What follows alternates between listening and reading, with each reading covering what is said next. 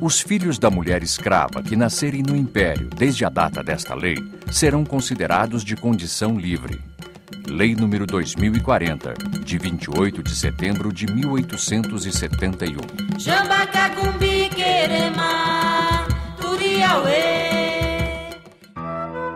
Um longo caminho foi percorrido até se chegar à lei que aboliu definitivamente a escravidão no Brasil, a Lei Áurea, assinada pela Princesa Isabel em 1888.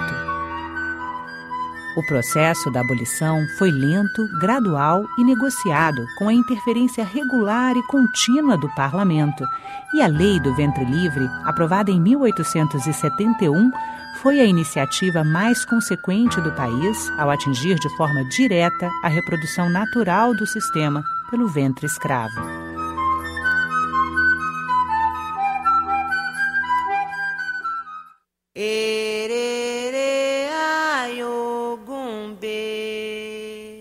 No século XIX, a base da economia brasileira estava assentada na escravidão.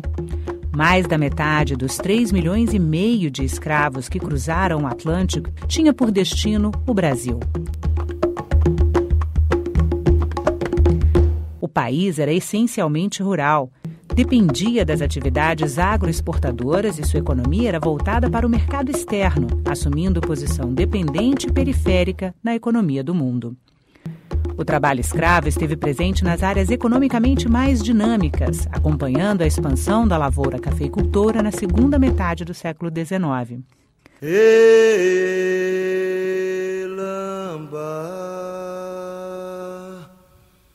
quero me acabar no sumidor. Qualquer decisão que alterasse o regime de trabalho teria fortes impactos econômicos, políticos e sociais. Por isso, a abolição da escravidão constituiu o fato mais importante da história do Brasil imperial.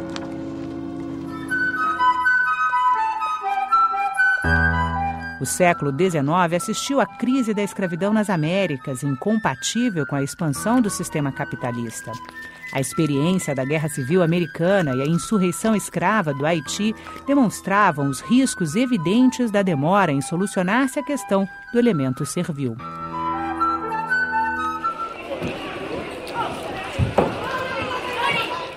Em 1850, o Brasil sancionou a Lei Eusébio de Queiroz, que proibia o tráfico de escravos. A lei cortou uma das fontes de reprodução do sistema, o tráfico. A outra, a reprodução natural da escravidão, baseada no ventre escravo, continuava aberta. O primeiro esboço da Lei do Ventre Livre foi apresentado pelo senador Nabuco de Araújo, pai de Joaquim Nabuco, na discussão do orçamento em 1870. Em 1871, foi reformulada pelo Visconde do Rio Branco, também senador, sendo anunciada na fala ao trono no início da sessão legislativa. Toda vez que chegava alguma proposição legislativa no parlamento sobre a questão servil, sobre a, a escravidão, isso era um motivo de mobilização geral de toda a sociedade. Quer dizer, quando a lei do ventre livre chega no Senado, depois da votação na Câmara, o Senado passa a receber várias representações e petições de pessoas interessadas no debate e na definição da lei do ventre livre.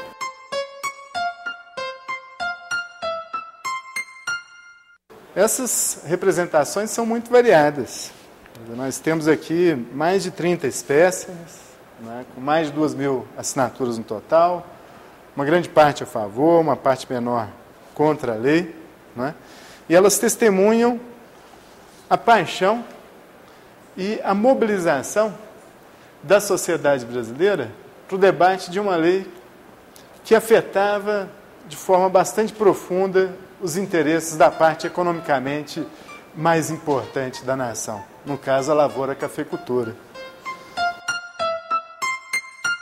Em algumas representações testemunham de forma bastante clara o estado de agitação provocado pela lei do ventre livre. Essa é de 15 de junho de 1871. É uma representação contra a lei do ventre livre. Essa aqui, que é da Bananal, né? diz o seguinte: diante da situação, não, diante, diante da situação anômala e perigosa que atravessa o país, diante da agitação febril que faz tremer suas cílias mais delicadas, não era lícito que os agricultores desse rico município se recolhessem a um silêncio condenável perante a questão social mais arriscada e momentosa trazida à tela das discussões do nosso parlamento.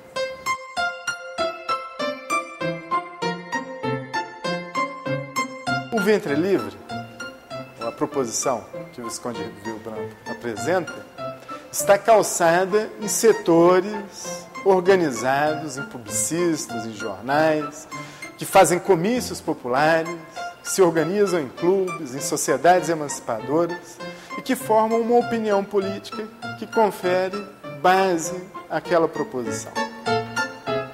Esse é o ponto. Né? O apoio político necessário. Né? E ele é expresso por meio dessas petições e representações, né? como essa aqui, né? da Sociedade de Pernambuco, emancipadora de Pernambuco, o que se pode notar, não é? Sempre um texto seguida das assinaturas dos apoiantes né, e datada. A Sociedade Emancipadora de Pernambuco, usando o direito de petição garantido pelo artigo 179, parágrafo 30 da Constituição do Império, vem respeitosamente pedir a esta augusta Câmara a decretação da liberdade de ventre no Brasil, a partir do dia 1 de janeiro de 1871. Esses abaixo-assinados são um formato básico das representações enviadas ao Senado na discussão da lei do ventre livre. E o mais interessante aqui, não é, é que todas são assinadas. Ou seja, não se pode dizer, não é, que a maior parte dos que os assinavam eram simplesmente ex-escravos, forros ou libertos, não é? existia de fato uma parte da opinião pública muito sensível à libertação e à abolição e que apoiava, por sua vez, as, uh, esses movimentos e a própria campanha abolicionista.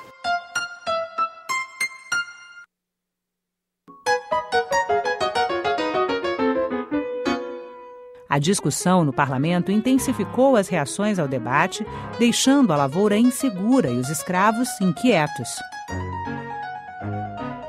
A situação estava delicada, como alertava o senador Nabuco de Araújo em 1870. Hei de dizer com toda a sinceridade, com toda a força da minha convicção: o pouco serve hoje, o muito amanhã não basta. As coisas políticas têm por principal condição a oportunidade. As reformas, por poucas que sejam, valem muito na ocasião. Ao depois, não satisfazem ainda que sejam amplas.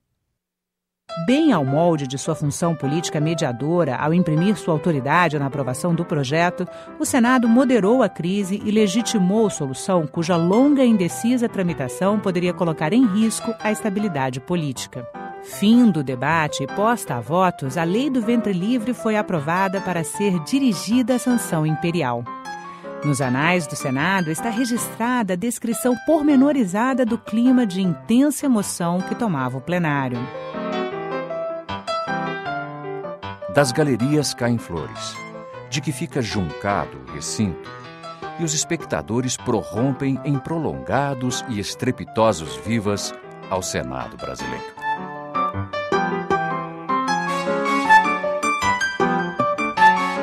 Clima das galerias e do plenário na votação da lei do ventre livre era de euforia, algo pouco usual no ambiente sisudo da Sibéria, como era apelidado o frio ambiente do plenário da casa.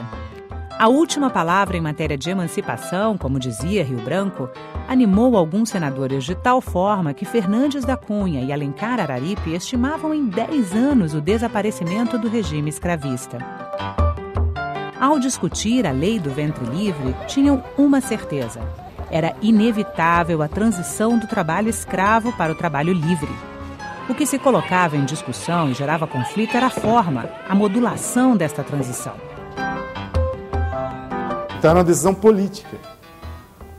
Política no sentido de ser uma decisão de gabinete, isso que se falava no Império, né? Essa, quando se chamava de questão política, era uma questão o quê? Uma, uma questão de gabinete. O gabinete foi eleito com aquela plataforma e aquela plataforma, a eleição, portanto, autorizava que aquele gabinete apresentasse aquela proposição legislativa. Foi uma queda de braço violenta, né? Então, assim, é um, não é? o Senado, nesse momento, teve realmente uma, uma posição de, é, de pacificação. Chegou-se ao termo. Né? Daí a importância da ventre livre. Né? Ela foi, de fato, a primeira iniciativa consequente, mais consequente do país, em tocar diretamente na questão da escravidão depois da Lei Eusébio. Depois dela, a questão era simplesmente dizer o seguinte: né? quanto tempo é que virá a abolição? Paixões tão intensas e um certo sentimento de frustração. Assim, o abolicionista Joaquim Nabuco definiu a recepção da lei. A lei não cuidou das gerações atuais, mas foi feita em nome dessas, arrancada pela compaixão e pelo interesse que a sua sorte inspirava dentro e fora do país espalhando-se pelo mundo a notícia de que o Brasil havia emancipado seus escravos. E por isso, durante toda a discussão, o sentimento predominante era de pesar, por se fazer tanto pelos que ainda não tinham nascido e tão pouco pelos que haviam passado a vida no cativeiro. Enjoe,